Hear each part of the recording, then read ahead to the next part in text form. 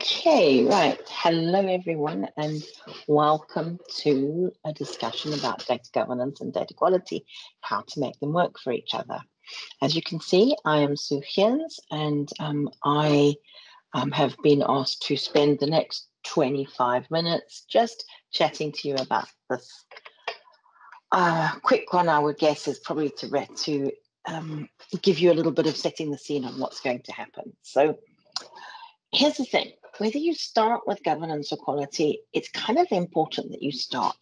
You may not um, have a clear vision of where you're going and what you're doing right now, but that will start happening as you go again. And the thing is, if you only start with one of them and you don't take into account all the other parts about data management, you are probably not going to succeed because nothing stands by itself. The governance doesn't, the quality doesn't. So today we're going to have a little bit what to do right, what not to do, how to measure what we're doing, and then a few tips about getting buy-in.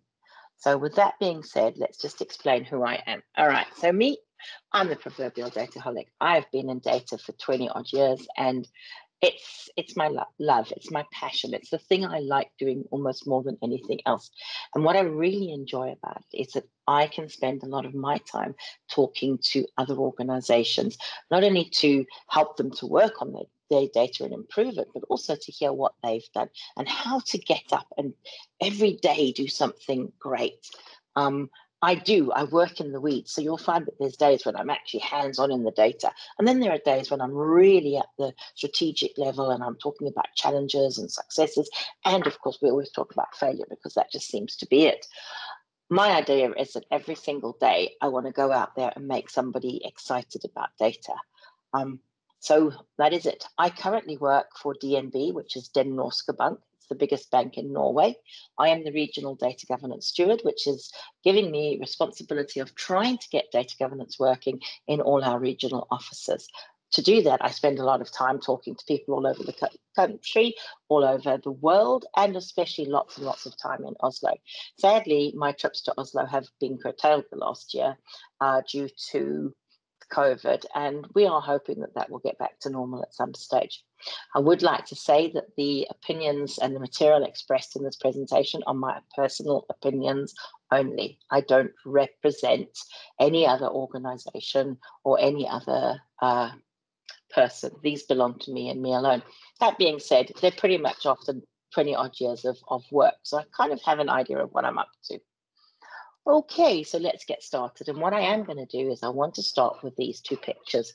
Okay, so these pictures are out of the DAMA-DMBOK. Um, the one on the left is from DAMA-DMBOK 1, and the one on the right is from DAMA-DMBOK 2. And as you can see, over a period of time, these have evolved. And initially, um, way back in about 2008, 2007, when, we, when it was first sort of suggested that there was a book, a data management body of knowledge. What, what it looked like is it almost looked like there were all these things that you could do in data management, but central to everything was data governance. And although that hasn't necessarily changed, and data governance is part of each and every one of those, over the years, what's really, really become important is to understand that data governance actually encompasses everything we do about data. So from that perspective, if you have a look at the picture on the right, you'll see that there's a whole bunch of foundational activities, and you will see that metadata management, data quality management, bit of privacy, security is involved in that.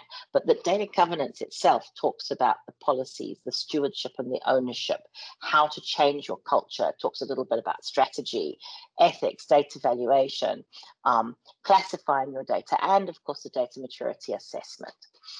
So, with that being said, although we initially have the structure of data governance is at the center of everything, we're now coming to the point that we think it's a, it's encompassing everything, and that when you do something, governance has to be involved. And I think this is the point that I'm trying to make here today: is that everything you do has to touch everything else. There is no, it's not a circle, it's not a sliced a pie and it's sliced into slices and you say, okay, we can go and do data architecture as an example. We don't have to worry about anything else. Not true. You have to, because if you do it in isolation, it's not going to work very well. You're going to have problems with it. Okay, so moving on. And I must tell you guys, I'm a firm believer in making life a little bit fun as well. So almost every one of these, I've got a nice cartoon, and um, I'm not going to talk about the cartoon. I'm just going to say to you, have a good giggle while you're at it. So, what is it that we need to do right? Whether we're talking about governance or quality or, or any of the topics around data, what we have to do is we must have a sponsor in the organization that sponsor must actually almost be a bit of a mentor as well. And they have to be a completely passionate communicator. It's hard to talk about data without people going, oh my goodness, here she is again. It's that data girl. Are we going to be bored to teeth? To try, try, not to bore people. And to do that, we need to have people who are passionate about what they're talking about. And our sponsor has to be willing to get out there and talk about it. That sponsor um, has to also be trusted. In the organization, it's important that they have trust so that people listen to them. And of course, it goes without saying they need to be respected. When you respect somebody, you pay attention to what they're saying. And you actually, even if you don't necessarily believe them, you actually are willing to listen to what they're saying to you. Okay, we also want them to be well known in the organization. It's no use talking to Jim, the database guy who um, has only met five people because he deals only in databases all day. That's not going to help. He may be very passionate, he may be exceptional at his job, but since not many people know him, they're not going to actually pay attention to him. So have somebody who you know is going to make that difference and is also willing to make that difference. Second most important thing is to governance the sorry, here I go, balance the need for governance and quality. So what is it we need to govern? That's that's a really key point. You have to look at everything and say, what is it we need to go, to govern? And also we need to say how much of it do we need to govern? One of my favorites is, is when big data became the newest buzzword. There was a huge amount of people going, well, we'll have big data. We don't need to govern it. We don't need any quality about it. And, and there was this, it's all free, it's open. You can do anything you want with big data it wasn't very long before you started to see people going, well, hang on a bit. Maybe we do need some governance. Maybe we do need some quality. Just because we're processing 60 bazillion records doesn't mean that we don't need to be sure that they are actually decent records and that there's quality to them and that they've been sourced from the appropriate place with the appropriate level of, of um, rights and, and privileges according to that. So start to balance things to, to make sure that whatever you're doing, there is that balance. The other thing is, what is the quality we're aiming for? So it would be awesome, wouldn't it, if quality could be 100% accurate all the time. But here's the problem with that getting there is almost impossible. You know, it's why you look at quality and you go, do I really want to climb Mount Everest to get the quality? Or am I perhaps probably comfortable with Mount Kilimanjaro? Not nearly as high, not nearly as difficult, but it's a damn good achievement to make. So when you're looking at quality, decide what you want. And also decide how much you're going to do because it's really, really difficult when you want to try and clean the quality of everything in your organization especially when you start looking at old data. So we've got oh, we've got data in this database, and we got that data in 2010. It's still great. It's still good today. Well, maybe it is, but also maybe it isn't. But if it's 2010 and you only use it for one thing, is that as important as something that you use every single day and it's still showing bad quality? So that's the kind of thing to look at. And of course, the most important thing here is to tie these to your company strategy. When you tie them to your company strategy, you start to ensure that they're at the right executive level to be noticed. It's all very well to do a little data cleanup on, on your address, your customer address, as an example.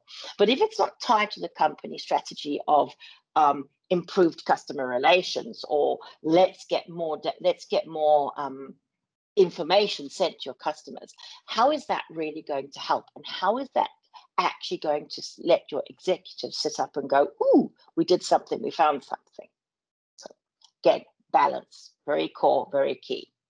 Thirdly, let's identify something that's critically important. When you're talking about governance and you're talking about quality, you need to start with something that will actually help you to move this forward where you can start to get a success of something. And when you do that, you pick a data issue or a process or a system bug that is so irritating to a lot of people that there's a lot of noise about it. At the same time, make sure that you pick something that you have the capacity to correct. Please don't pick something that's going to take four years to correct, because by that time, your governance and your quality um, initiatives have gone down the drain because nobody is listening. Um, and the rule of thumb, something you can fix in 90 days. If you can fix it in 90 days, people will remember it. That would mean that in one year, you could fix four things each being 90 days long. So that would be a really good way to start. And there are lots of little issues. Yes, the big issues are there. Yes, we need to tackle the big issues. But if we start with the little issues and we get success, we start to gather momentum. And there's this wave of excitement to do data governance, to do data quality. Right. Of course, the final thing is let's define the risk. Let's define the risk of fixing this thing that we've chosen. Let's also define the risk of not fixing this thing that we've chosen. And this is where you get to go back to the balance thing because sometimes it's an important it's it's a big risk to to fix it but it's an even bigger risk not to fix it and you have to weigh that up with what you've identified and the balance that you need to, to maintain. And also, what about your sponsor? Because it's important that your sponsor is able to speak passionately and um, it, you know confidently about this thing that we're dealing with and also have the confidence that we are going define your risk and be clear about it. If it's a risk that you're going to lose half your customers because of this thing that's gone wrong in the system, that is a really, really core big risk. And that's where you have to say, well, okay, we can fix this. Whoa, stop, stop you know, stop the bus. But what if the risk ends up being okay well we'll have one guy in the organization not able to access this list that he's been using for the last five years well is that a big risk Probably not, unless of course the risk is is well, unless of course the list, for example, is something really really important. But that being said, since it's a really tiny thing, couldn't we put the list somewhere else and still keep him satisfied? So hopefully that all makes sense. Okay, so that's what to do, right? What not to do. This is always my favorite. I've always got lots more what not to do than what to do. And again, please have fun with the um, cartoons. I do think that they're pretty reasonable according to what we're talking about. So don't over promise. Please don't promise the earth because you're not going to get it right.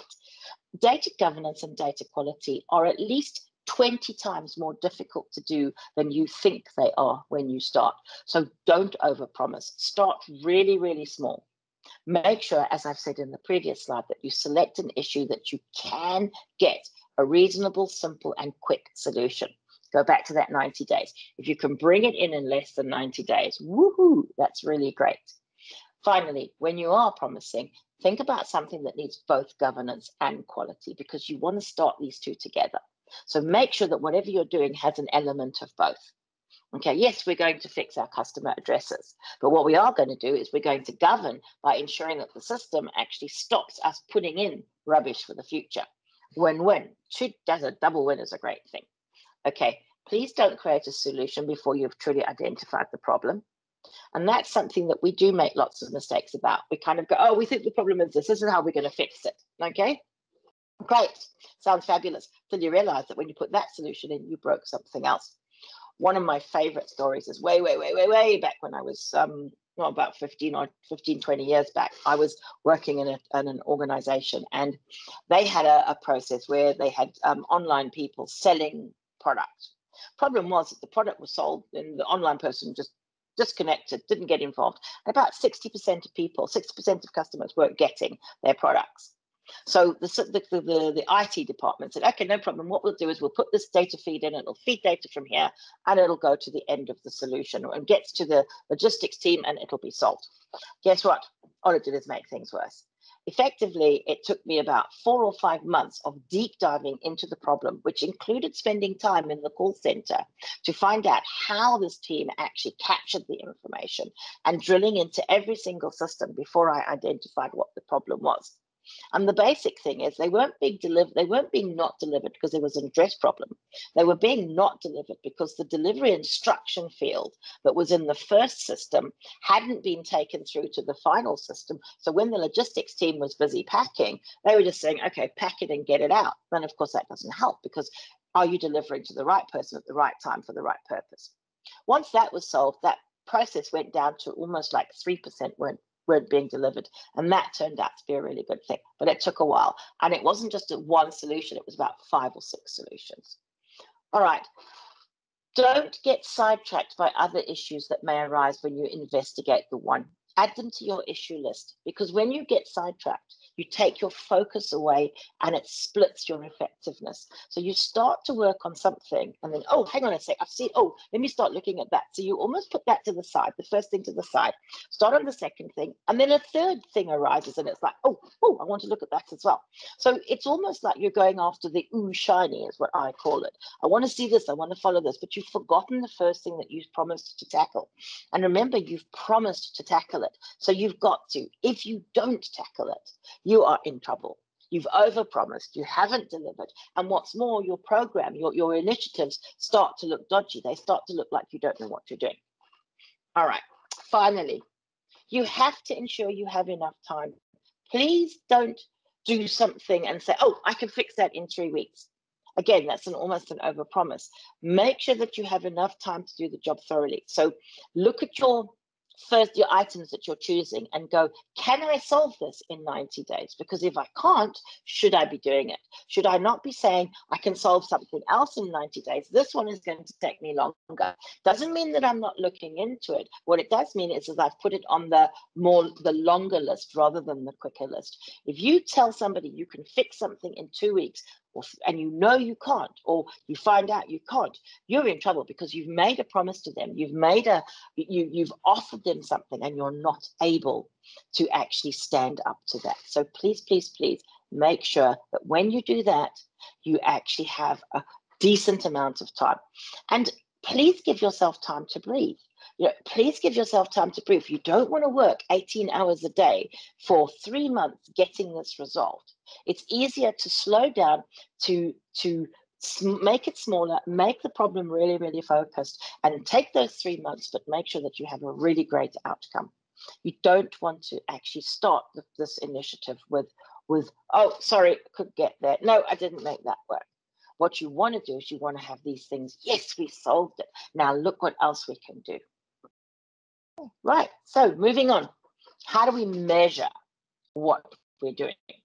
So here's the thing we cannot monitor something if we can't measure it. So if we don't measure it, we don't know what we're doing. How do we know we're successful? Well, we don't. We're just guessing. We're thumb sucking it. Okay. And well, most of our data governance policies are more specific than because I said so.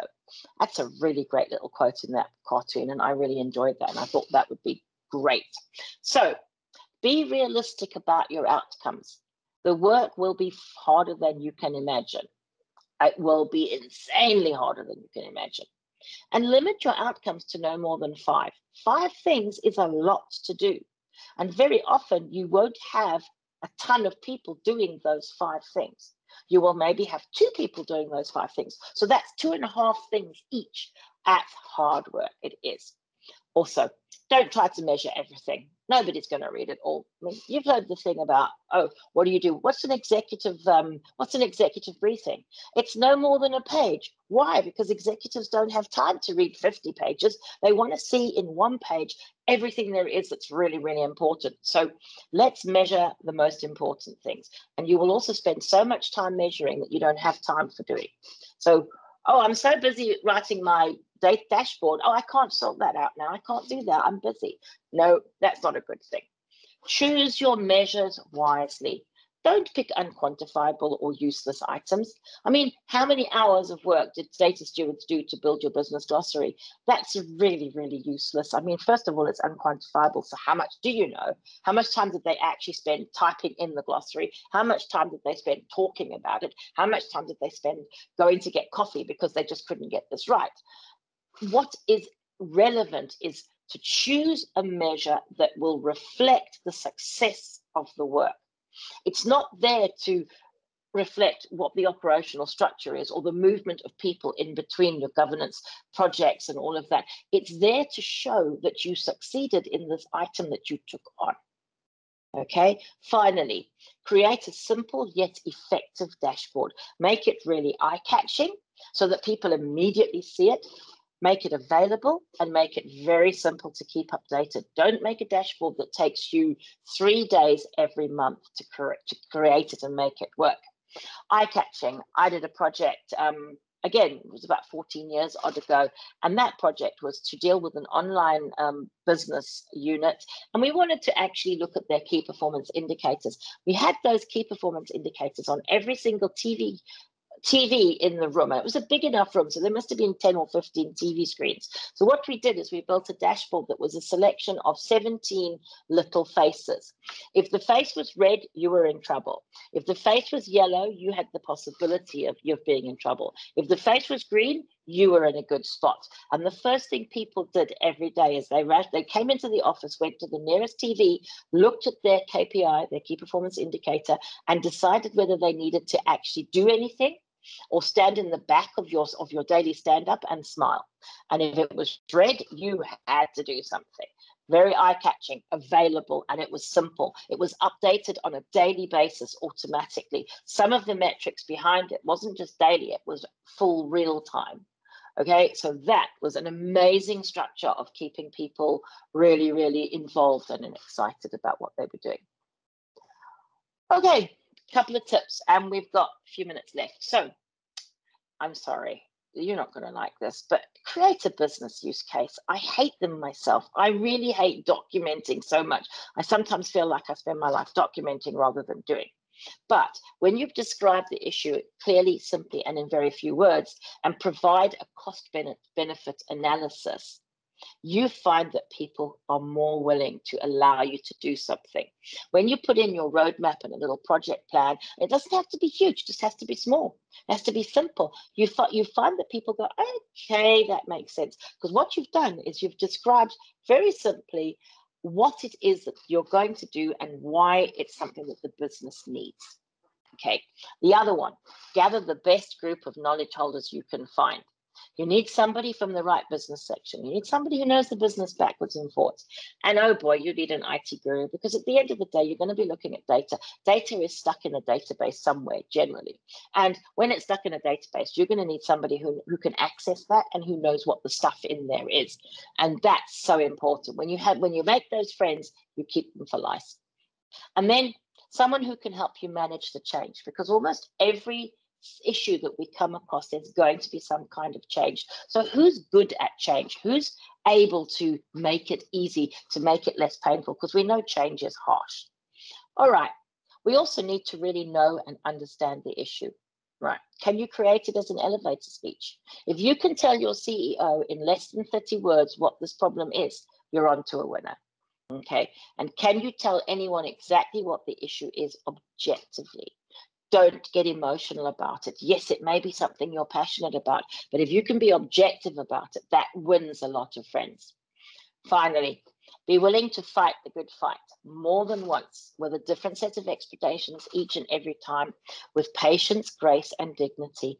This is hard. You're going to have to say the same thing a multitude of times and often to the same person You've got to learn to say it more than once in different ways to make it easier for that person to understand what it is that you're trying to share and you're trying to do.